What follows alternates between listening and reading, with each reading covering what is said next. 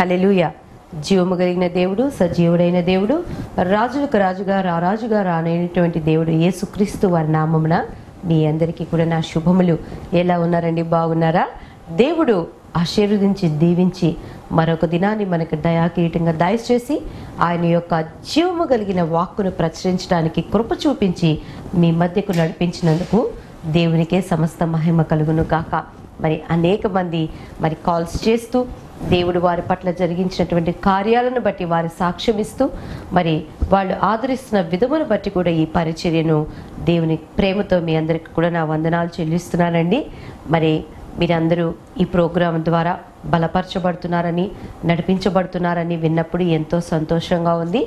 మరి దేవుని చిత్తమైతే త్వరలో సినిమా రంగంలో ఉన్న వారికి కూడా ఈ సువార్తను తీసుకువెళ్ళటానికి దేవుడు ఒక మార్గం తెరవాలని ప్రార్థన చేస్తున్నానండి దేవుని యొక్క దిన దాసురాలుగా మీ అనుదిన ప్రార్థనలో కూడా మీరు ప్రతి ఒక్కరూ కూడా జ్ఞాపకం చేసుకోండి.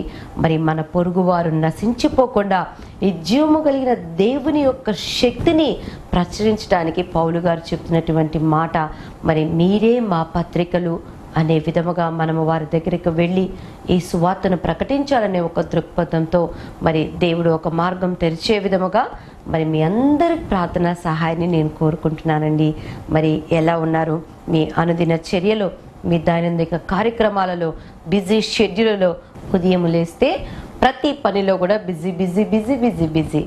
కాబట్టి మీరు ఎంత బిజీలో ఉన్నప్పటికీ కూడా దేవునికి ఇవ్వవలసిన సమయమును ప్రభువుకి ఇవ్వండి. దేవుడు మీ పట్ల ఆయన ఎంతో ప్రణాళికను కలిగి ఉన్నాడు. కనీసం రోజంతటిలో ఎంత మనము ఉన్నప్పటికీ కూడా మీ ప్రయాణాలలో కానీ మీ ఆఫీస్లో ఖాళీ సమయాల్లో కానీ మీరు ఒకవేళ ట్రైన్లో ఫ్లైట్లో ప్రయాణం చేసేవారైతే అక్కడున్న సమయంలో కూడా మీ ప్రభువుని ధ్యానిస్తూ ఆయనతో మాట్లాడే అనుభవంలోకి వెళ్ళినప్పుడు మరి ఆయనతో అంటగట్టపడి ఆ దేవుని సారూప్యంలోకి మనం నడిపించబడటానికి మనకి అది మార్గంగా ఉంటుంది. మరి ఈ రోజుల్లో ఎక్కడ చూసినా కూడా ప్రతి ఒక్కరి నోటి నుంచి వచ్చేటువంటి మాట ఏంటి అంటే నేను ఎంత చేసినా కూడా వీళ్ళకి తృప్తి లేదండి. నేను ఏమి చేసినా కూడా వీరు నన్ను గుర్తించనే గుర్తించరండి. నన్ను ఎందుకు పనికిరాని దాన్నని తీసివేస్తారండి? నన్ను ఎందుకు పనికిరాని వాడని చిన్న చూపు చూస్తారండి అని వాపోతూ ఉంటాము. కదండి? మన అందరి జీవితాలలో కూడా ఇటువంటి స్థితిని మనకు తెలియకుండాను తెలుసో అనుభవపూర్వకముగా మనం ఎప్పుడో ఒకసారి ఎదుర్కొనే ఉంటాం. అటువంటి సిచ్యువేషన్స్ మనకి ఎదురైనప్పుడు మానసికంగా చాలా కృంగిపోతాం. నీ తప్పు ఏమీ లేకపోయినప్పటికీ ఆ క్రియ జరగటానికి నీ బాధ్యత ఏమాత్రము కారణము కాకపోయినప్పటికీ కూడా మరి మనల్ని తీసివేసి మన తక్కువ స్థితిలో ఎవరైనా మనల్ని మరి నొప్పించి మాట్లాడినప్పుడు మానసికంగా కృంగిపోతాం. కానీ దేవుడు చిన్నవారిని ఎందుకు పనికిరాని వారిని వీరి దగ్గర ఏమీ లేదు అనుకునే వారి చేతనే గొప్ప కార్యాలు జరిగిస్తాడండి. ఈ కార్యక్రమాన్ని వీక్షిస్తూ మరి జీవితంలో అన్నీ పోగొట్టుకొని ఎందుకు పనికిరాని దానిలాగా అయిపోయాని నన్ను ఆదరించే వాళ్ళు లేక అందరి దగ్గర ఒక తక్కువ చులుకని భావముతో మరి నేను కృంగిపోయే స్థితిలో ఉన్నానని వాపోకు. దేవుని వాక్యం ఈరోజు నీతోనే స్పష్టంగా మాట్లాడుతుంది రెండు రాజుల గ్రంథం ఐదవ అధ్యాయం రెండవ వచనంలో మనం చదువుకున్నట్లయితే సిరియనులు గుంపులు గుంపులుగా బయలుదేరి ఇస్రాయేలు యొక్క దేశము మీదకు పోయి ఉండిరి. వారు అచ్చట నుండి ఒక చిన్న దానిని చెరగొని తేగా అది నయమాను భార్యకు పరిచారము చేయుచూ ఉండెను. ఒక చిన్న బిడ్డను మరి ఈ నయమాను గొప్ప పరాక్రమం కలిగిన ఒక సైనికుడుగా ఆ యొక్క దేశము మీద జయము పొందిన వ్యక్తిగా ఉండి తన రాజు దగ్గర మరి ఘనత పొందిన వ్యక్తిగా ఉన్నటువంటి మనిషి ఆయన తిరిగి వచ్చేటప్పుడు ఆ దేశం నుంచి ఒక చిన్న దానిని బానిసగా తెచ్చాడటండి జనరల్గా చాలామంది పెద్దవాళ్ళకి వారికన్నా చిన్నవారు వారికన్నా తక్కువ స్థితిలో ఉన్నవారు మరి వారికన్నా ప్రతి దాంట్లో స్టేటస్లో కానీ తక్కువగా ఉన్నవారు ఏదైనా ఒక సలహా చెప్పినా ఏదైనా ఒక మాట చెప్పినా నీకేంటిదే తెలుసు నాకన్నా నీకు ఎక్కువ తెలుసా అనేటువంటి తెలియని ఒక స్వభావంతో వారిని తీసివేస్తూ ఉంటామండి. ఇక్కడ మనం చదువుకున్నట్లయితే మరి బానిసగా పట్టబడినటువంటి ఈ యొక్క చిన్న పిల్ల ఈమె బానిసత్వంతో అక్కడ వెట్టి చాకరీ చేయటానికి తీసుకొచ్చినటువంటి బిడ్డ మరి రాజు దృష్టికి గనుడైనటువంటి సైన్యాధిపతి అయినటువంటి పరాక్రమశాలి అయినటువంటి అన్యుడైన నయమానకు జీవము కలిగిన దేవుని గురించి ప్రకటించడానికి మూల కారకురాలైనండి దేవునికి మహిమ కలుగును గాక. ప్రభునందు ప్రియ సహోదర సహోదరి ఈరోజు నీ జీవితంలో జీవము కలిగిన దేవునిని ప్రకటించడానికి మొట్టమొదటిగా నువ్వు ఆసక్తిని కలిగి ఉన్నావా? ఆ ధైర్యాన్ని కలిగి ఉన్నావా? ఆ యొక్క ఎటువంటి శ్రమలలో నువ్వు ఉన్నప్పటికీ కూడా ఆ ప్రభు నామాన్ని హెచ్చించే వ్యక్తిగా నువ్వు ఉంటున్నావా? ఈ చిన్నది ఇక్కడ మనం గమనించినట్లయితే మరి అంత పరాక్రమమైనటువంటి ఆ వ్యక్తికి ఒక అన్యుడికి తను మరి జీవము కలిగిన దేవునిని ప్రకటిస్తూ ఉంది. దేవుని యొక్క బిడ్డలకు కలిగినటువంటి ఆ దేవుని శక్తిని ఆ సైనికుడి యొక్క భార్యకి చెబుతూ ఉంది. మన జీవితాలలో కూడా మన ప్రయాణాలలో మన తోటి వారితో మన ఇంటి పక్క వారితో మరి అనేకమైన ప్రయాణాలలో మనం తెలియకుండా కొత్త కొత్త వ్యక్తులను కలుసుకుంటూ ఉంటాం. మరి వారు జీవము కలిగిన దేవునిని ఎరగలేనప్పుడు వారు వ్యాధులలో ఉన్నప్పుడు వారు నష్టాలలో ఉన్నప్పుడు వారు కృంగిపోయిన స్థితిలో ఉన్నప్పుడు అయ్యో నేను వారికన్నా తక్కువ దానిని అయ్యో వారికన్నా నాకేమి తెలియదే అని భయపడకుండా ఈ చిన్నది కలిగినటువంటి ఆ మనస్సును మనము కలిగి ఉంటున్నామా? ఈ చిన్న బిడ్డ. మరి తనను బానిసగా పట్టుకొని తీసుకొచ్చినటువంటి వ్యక్తికి నేను మంచి చేయటం ఏంటనే స్వభావాన్ని కలిగి లేదండి. తన వాళ్ళ దగ్గర నుంచి తన ఇంటి వారి దగ్గర నుంచి తన ఊరు దగ్గర నుంచి ఈ యొక్క సైనికుడు నయోమాను ఆమెను చెరపట్టి తెచ్చినప్పటికీ కూడా దేవుని ప్రేమను కలిగి ఉన్నది. దీన్ని బాగు చేయగలిగిన వ్యక్తి ఒక్కడే ఒకడు ఉన్నాడు. ఆ దైవజనుడిని గురించి ఆమె అక్కడ ప్రచురము చేస్తూ ఉన్నది. దేవునికి మహిమ కలుగును కాక మరి ఆ ప్రవక్త ఎలీషా మాత్రమే అటువంటి నిజాన్ని ధైర్యముగా ఆయన భార్య దగ్గర ప్రకటించగలిగినది. నిజంగా ఈ రోజుల్లో దేవుని దగ్గర మనం అనేకమైన మేళ్ళను పొందుకుంటూ దేవుని యొక్క కృపలతో మనం బలపరచబడుతూ కూడా దేవుడు మనకి ఎన్నో అవకాశాలు మనకి ఇచ్చినప్పటికీ మనకన్నా పై అధికారుల దగ్గర మనకన్నా ఉన్నతమైన వారి దగ్గర ఈ యొక్క జీవము కలిగిన దేవుని ప్రకటించలేని స్థితిలో అనేక మంది ఉంటున్నారు. దేవుని వాక్యం స్పష్టంగా సెలవిస్తున్నటువంటి మాట ఈ అంత్య దినాలలో ఈ సువార్తను ప్రకటించుటకు ధైర్యము తెచ్చుకొనడి. నేను ఇస్తాను అని చెప్పట్లేదండి. మీరు ధైర్యము తెచ్చుకొనడి అంటున్నాడు. ఈమె ధైర్యముగా జీవము కలిగిన దేవుని సేవకుని యొక్క ఆ దేవుడి కృపలతో ఆయన పొందుకున్నటువంటి శక్తి గురించి ప్రచురించబలిగింది కాబట్టి మరి ఆ యొక్క దేవుని యొక్క కార్యము అక్కడ జరిగిందండి. దైవజనుడి దగ్గరికి మరి ఆ సేనాధిపతి నేను అనే అటువంటి గర్వంతో వెళ్ళాడు. ఆ దైవజనుడు తన దగ్గరికి రావాలి అనేటువంటి ఆశను కలిగి ఉన్నాడు. మరి ఆయన వెళ్ళి ఆ యొక్క యోర్ధాను నదిలో నువ్వు ఏడు మారులు మునుగు అన్నప్పుడు ఇంతకన్నా వేరే కార్యము లేదా అని ఒక వ్యతిరేకత స్వభావంతో ఉన్నటువంటి ఆ నయమాను మరి తన దగ్గర ఉన్నవారు వచ్చి అయా నీకు ఇంకా ఇంకా బలులివు యాగాలు చెయ్యి అది చెయ్యి ఇది చెయ్యి అని చెప్పలేదు కదా. జస్ట్ నువ్వు ఏడు మార్లు నీటిలో మునుగుమని చెప్పాడు. దీన్ని చేసి చూడటం వల్ల నీకు నష్టమేమి అని చెప్పినప్పుడు ఆ దైవజనుడి మాటకి ఒక అన్యుడు విశ్వసించి తను తాను తగ్గించుకొని మరి ఎంత చిన్న స్థితిలో ఉన్నప్పటికీ కూడా విశ్వాసముతో ఆయన ఆ నదిలో ఏడు మార్లు మునిగినప్పుడు తన దేహము పసిపిల్ల దేహము వల్లే అయిపోయిందటండి. మరి ఆ పదిహేను వచనంలో ఆ సైనికుడు చెప్పినటువంటి మాట చిత్తగించము. ఇస్రాయేలులో ఉన్న దేవుడు తప్ప లోకమంతంటే ఎందను మరొక దేవుడు లేడని నేను ఎరుగుదును. దేవునికి మహిమ కలుగును గాక. లోకమంతటిలో కూడా యేసుక్రీస్తు వారి వంటి దేవుడు లేనే లేడండి. ఈ సాయంకాల సమయంలో దేవుడు నీతోనే మాట్లాడుతున్నాడు. నిన్ను తీసివేశారని నిన్ను చిన్నవాడిగా చూస్తున్నారని నిన్ను చిన్నదానిగా చూస్తున్నారని నువ్వు ఇప్పుడు వాపోకు. నువ్వు ఎక్కడ ఉన్నప్పటికీ కూడా ఆ దేవుని యొక్క శక్తిని ధైర్యముగా నువ్వు ప్రకటించినప్పుడు రాజులు దగ్గరేంటి సైనికుల దగ్గరేంటి అధికారుల దగ్గరేంటి మరి వారి వద్ద నుంచి వారికి జరిగిన క్రియల ద్వారా దేవుడు వారి నోట్లోంచి పలికించినటువంటి మాట ఇస్రాయేలులో ఉన్నటువంటి దేవుడు తప్ప లోకమంతంటే ఎందను కూడా మరి యొక్క దేవుడు లేడని ఆయన ఎరుగుదును. దేవునికి మహిమ కలుగును కాక ఆ చిన్నది చేసిన పని వల్ల ఆ చిన్న దానిని ప్రభువు ఉపయోగించుకోవడం వల్ల ఆ చిన్నది ధైర్యముగా ఆ సువార్తని ప్రకటించడం వల్ల ఈరోజు ఆ అన్యుడు పలికినటువంటి మాట ఆ దేవుడిని నేను ఎరుగుదును. నీ జీవితం జీవితంలో దేవుడిని నువ్వు ఎరిగున్నావా నీ జీవితంలో యేసుక్రీస్తు వారి గురించి వింటున్నావా? కేవలం యేసుక్రీస్తు వారి కార్యాలను అనుభవిస్తున్నావా? ఆ దేవుడిని నువ్వు ఎరిగున్నావా చూడండి మన ఇంట్లో నా బిడ్డల్ని పిలిచి అడిగితే మీ అమ్మ గురించి చెప్పవా అంటే వాళ్ళకి నా స్వభావం తెలుసు నాకు ఎప్పుడు కోపం వస్తుందో తెలుసు ఎప్పుడు ప్రేమ వస్తుందో తెలుసు ఎటువంటి సిచ్యువేషన్లో నేను ఎలా ఉంటానో వారికి బాగా తెలుసు.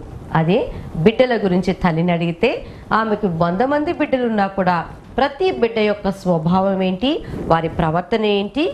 దే విషయాల్లో వారు ఎలా ఉంటారని ఆ తల్లికి మాత్రమే బాగా ఎరిగినదిగా ఉంటుంది. ఎందుకంటే అనుదినము వాళ్ళతో సంబంధం. అనుదినము వాళ్ళతో మనము ఒక పరిచయాన్ని కలిగి ఉంటాం కాబట్టి వాళ్ళ గురించి మనం తెలుసుకొని ఉంటాం. మనలో మన మాట ప్రభునందు ప్రియ సహోదర సహోదరి ఈ అన్యుడు చెప్తున్నటువంటి మాట నీ దేవుడు ఎంత గొప్ప దేవుడో నేను ఎరుగుదును అనే విధముగా యేసుక్రీస్తు వారు ఎంత శక్తి కలిగిన దేవుడో ఆయన ఎటువంటి వారినైనా ఎలా ఉపయోగించుకోగలడో ఆయన గాడిదతో మాట్లాడించినటువంటి దేవుడు మరి తన నోటి మాటతో శూన్యంలోని సమస్తాన్ని సృష్టించినటువంటి దేవుడు ఈరోజు ఆయన నీ జీవితంలో నువ్వు ఎరిగి ఉన్నావా? ఈ చిన్నది తన బానిసత్వానిగా తీసుకొచ్చాడనేటువంటి ఒక ఉక్రోషంతో కనుక మరి ఆ నయామాను మీద ఆమె ఆ అభిమానాన్ని క్రీస్తు ప్రేమను కలిగి లేకుండా ఉండి ఉండి ఉంటే ఈ కార్యం జరిగేది కాదు. దేవుడు నయోమాను విశ్వాసానికన్నా కూడా మరి ఏలియా యొక్క ప్రార్థన అన్నిటికన్నా కూడా ఆ చిన్నది ధైర్యముగా ప్రకటించినటువంటి ఆ సువార్తను బట్టి ఈ కార్యాన్ని జరిగించి ఉంటాడండి. దేవునికి మహిమ కలుగును గాక. నిన్ను ఎవరు తీసివేసినా ఎవరు త్రోసివేసినా బాధపడకు. చిన్నవారిని దేవుడు బహుగా వాడుకొని మరి అనేక మందికి దీవెనకరంగా మారుస్తాడు. ఈ దినాలలో మరి అనేక మంది యేసుక్రీస్తు వారి దగ్గరికి రాలేకపోతున్నారండి. మరి దేవుని గురించి చెప్పు దేవుని గురించి ప్రకటించు. ప్రభు నిమిత్తమై సమస్తాన్ని నువ్వు ఓర్చుకున్నప్పుడే ప్రభు యొక్క కార్యం జరుగుతుంది. ఈ చిన్నది ప్రకటించింది ఈ చిన్నది అక్కడ ఉన్న శ్రమను ఓర్చుకున్నది మరి ఈ చిన్నది చెప్పటానికి ఆసక్తి కలిగినదిగా ఉన్నది. మరి కాబట్టే ఇంత గొప్ప వ్యక్తి యొక్క జీవితంలో మరి ఆత్మీయ రోగము శారీరక రోగము రెండు పోవటానికి కారకురాలైంది. దేవునికి మహిమ కలుగును గాక. తన శరీరంలో ఉన్న కుష్ఠ రోగాన్ని పోగొట్టుకోగలిగాడు. అన్య దేవతల వైపు నుంచి విగ్రహారాధన వైపు నుంచి ఆయన హృదయము తిప్పపడి ఇంత దేవుడు లోకమందంతటిలో కూడా ఇటువంటి దేవుడు లేడు అని నేను ఎరిగి ఉన్నాను అనే విధముగా దేవుడు ఈ చిన్న దానితోనే అంత గొప్ప కార్యాన్ని జరిగించాడు.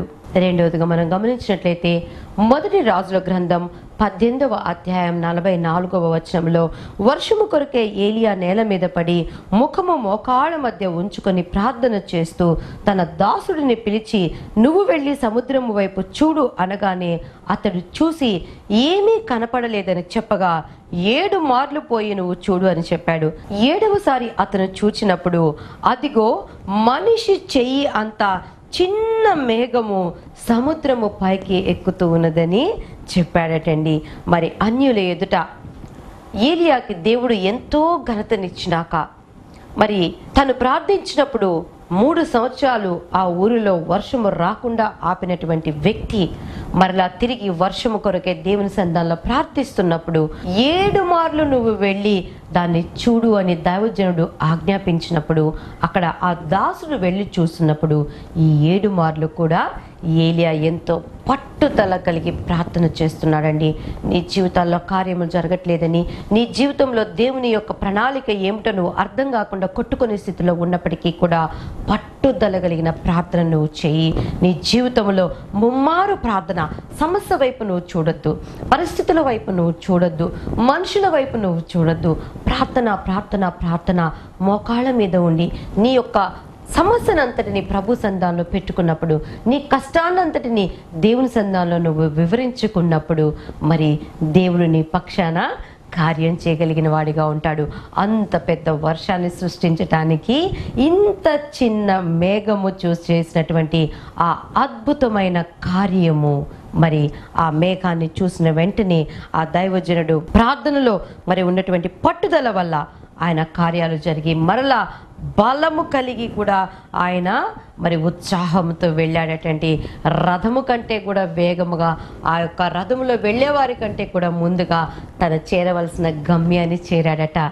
ఈరోజు నువ్వు ఆ చిన్న మేఘము ప్రత్యక్షమైన వెంటనే ఆయన జీవితంలో ఉత్సాహం వచ్చిన విధముగా ఒక్కొక్కసారి మన జీవితాల్లో గొప్ప గొప్ప వారు వచ్చి మనకి ఏదో చేస్తారని డబ్బున్న వారు వచ్చి మనల్ని ఎంతో ఆదరిస్తారని వీళ్ళ ద్వారా మనకి ఎక్కడి నుంచో సహాయం వస్తుందని ఎదురు చూస్తూ ఉంటాం.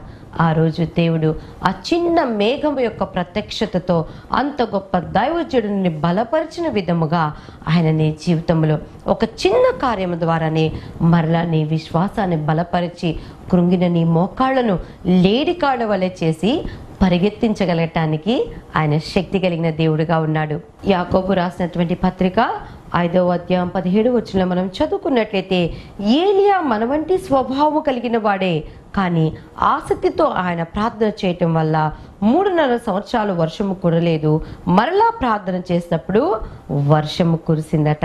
ఆ చిన్న మేఘము ప్రత్యక్షమయ్యి అతనికి బలాన్ని ఇచ్చిందండి. దేవునికి మహిమ కలుగునుగాక ఆసక్తి కలిగి ఉండాలండి. మన దేవుడు శక్తిమంతుడు. ఆయన ఉన్నది లేనట్టు లేనిది ఉన్నట్టుగా చేయగలగటానికి సమర్థవంతమైన దేవుడుగా ఉన్నాడు. నీ కుటుంబంతో కలిసి ఏకీభవించి ప్రార్థించు. చిన్న వారి ద్వారానే చిన్న సూచక క్రియల ద్వారానే ఆయన మన జీవితంలో గొప్ప గొప్ప జయాన్ని విజయాన్ని ఇవ్వటానికి శక్తిమంతుడుగా ఉన్నాడు. మరి ఆ యహోవా హస్తము ఏలియాని బలపరిచిన విధముగా మరి ఆయనకు సహజముగా ఉండేటువంటి బలము కన్నా కూడా ఎక్కువ శక్తిని ఎక్కువ బలాన్ని కలిగి కూడా మరి ఆ రాజు రథము కంటే వేగంగా పరిగెత్తే గమ్యము చేరాడట. పౌలు గారు చెప్తున్నటువంటి మాట నేను గురి యొద్దకే పరిగెత్తుచున్నాను.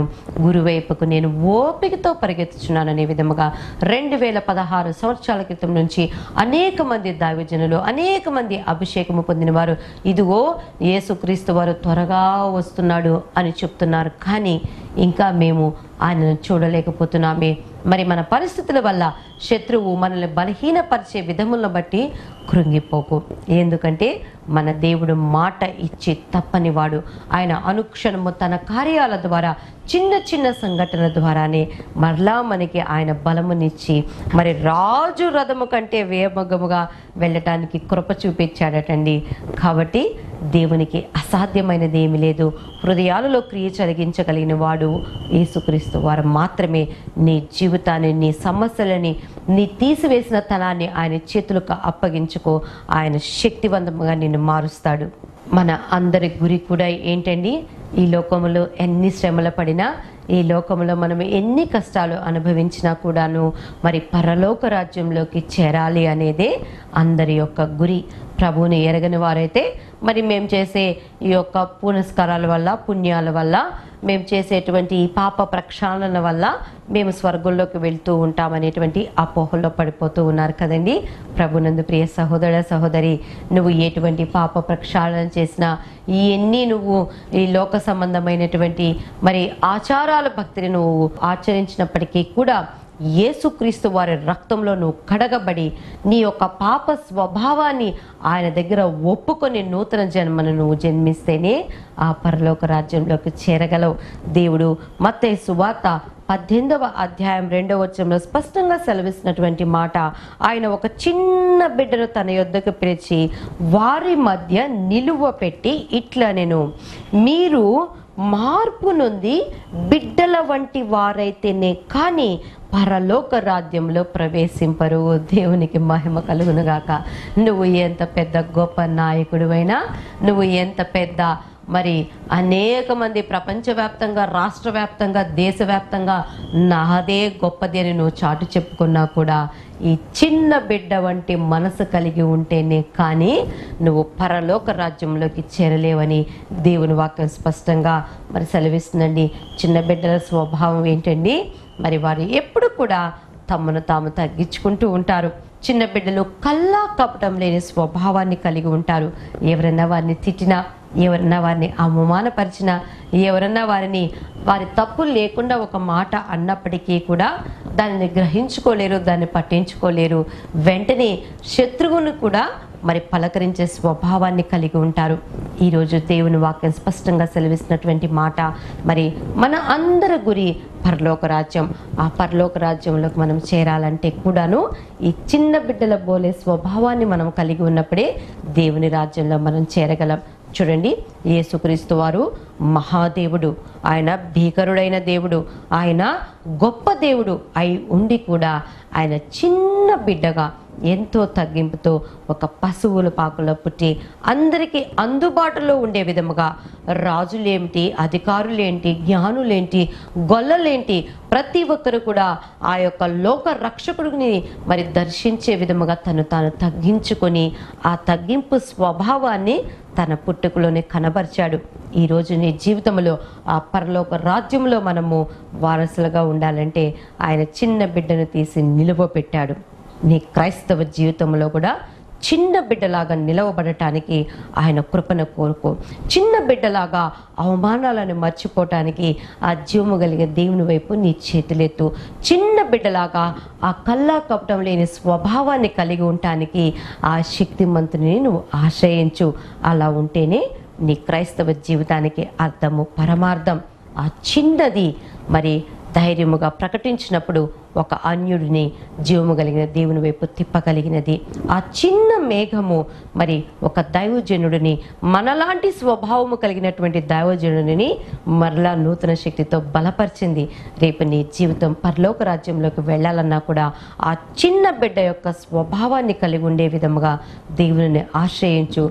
ఆ పరలోక రాజ్య వారసత్వాన్ని పొందుకోవటానికి మనము మరి ఆ శక్తి కలిగిన వారముగా ఉంటాం. అటువంటి ధన్యతలోనికి దేవుడు మనల్ని నడిపించి దీవించి ఆశీర్వదించునుగాక. ఆమె తలలో వంచి ప్రార్థన చేసుకుందాం. మహాపరిశుద్ధుడు ప్రేమ నమ్మకంలో మా ప్రియపరలోకి తండ్రి మరొకసారి నీ సంధానంలోకి వస్తున్నామయ్యా.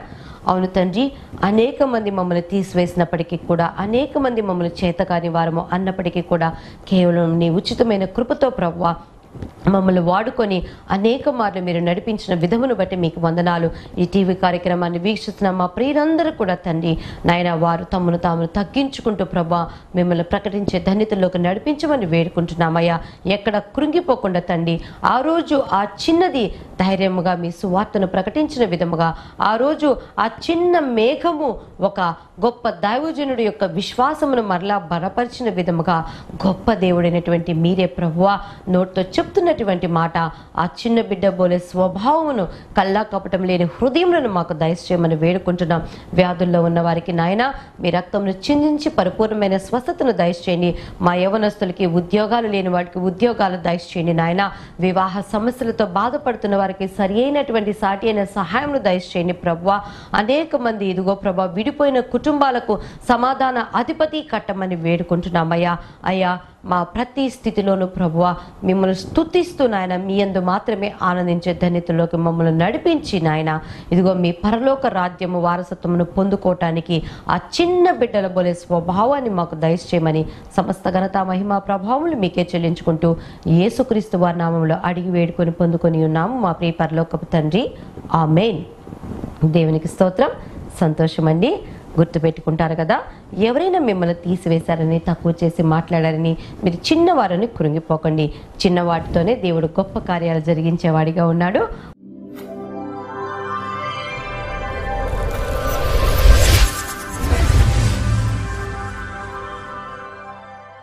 విజయవాడ చుట్టుపక్కల ఉన్న పట్టణ ప్రజలకు సంతోషకరమైన శుభవార్త. దివ్య వెలుగు ఫౌండేషన్ సమర్పించు ఉపవాస ప్రార్థన మహోత్సవ కూడిక. ఏవండి? యేసుక్రీస్తు వారంటే కేవలం ఈ లోకరీత్యా ఉండే ఆశ్చర్యాలు అద్భుతాలు స్వస్థతలు ఇచ్చే దేవుడేనా? నీ ఆత్మను నిత్య నరకం నుంచి తప్పించి నిత్య జీవానికి నడిపించగలిగిన శక్తిమంతుడు. ఎస్తేరు ఉపవాసంతో ప్రార్థించినప్పుడు దేవుడు రాజ్య శాసనాన్ని మార్చివేశాడు. ఈ ఉపవాస ప్రార్థనలో దేవుడు నీ బలహీనతలను నీ ఇంటి పరిస్థితులను జారిపోయిన నీ ఆత్మీయ స్థితిని మార్చబోతున్నాడు. తప్పకుండా రండి. ఆత్మీయ స్వస్థత శారీరక స్వస్థతలతో తిరిగి వెళ్ళండి. స్థలం? విజయవాడ జిమ్కానా గ్రౌండ్స్ పక్కన ఉన్నటువంటి కందుకూరి కళ్యాణ మండపం. నవంబర్ పన్నెండు నుంచి ప్రతి నెల రెండవ శనివారం. సమయం? ఉదయం పది గంటల నుంచి మధ్యాహ్నం మూడు గంటల వరకు. తప్పకుండా రండి. దేవుని శక్తితో తిరిగి వెళ్ళండి. దేవునికి స్తోత్రం. మంచిది ప్రియులారా మరి ఈ యొక్క భారభరితమైన పరిచయను మీరు ప్రోత్సహించాలంటే మీరు సంప్రదించవలసినటువంటి మా cell phone number zero nine one triple zero one seven four two four. ఏమండి? దేవుడు స్పష్టంగా చెప్తున్నాడు. వెళ్ళగలిగితే మీరు వెళ్ళండి వెళ్ళలేకపోతే వెళ్ళేవారిని పంపండి. మరి సినిమా రంగంలో ఆ కొన్ని లక్షల రూపాయలు మాకు ఆదాయం ఇచ్చేటువంటి ఆ వృత్తిని వదులుకొని ఈ సువార్తను ప్రకటించడం ధన్యతగా భావిస్తున్నాం. ఈ పరిచర్యను ప్రోత్సహించవలసిన బాధ్యత మీకు కూడా ఉంది. ఈ పరిచర్యను తప్పకుండా ప్రోత్సహించండి. మరి అనేక మందికి ఈ సువార్తను ప్రకటించడానికి మీరు కూడా ఇందులో పాలిభాగస్సులు కావాలని క్రీస్తు ప్రేమతో మిమ్మల్ని అభ్యర్థిస్తున్నాను. మరి ఇందుకొరకు మీరు సంప్రదించవలసినటువంటి మా cell phone number zero nine one triple zero one seven four two four. దేవుని చిత్తమై ప్రభు రాకడ ఆలస్యమైతే మరలా మీ మధ్యకి రావాలని ఆశపడుతున్నటువంటి దేవుని దీనదాసురాలు మీ Divyavani. Divya Velugu foundation account number Axis bank account number nine one six zero two double zero one two eight nine double six one nine IFSC code UTI B triple zero one five zero four నీవే మా దివ్య వెలుగువు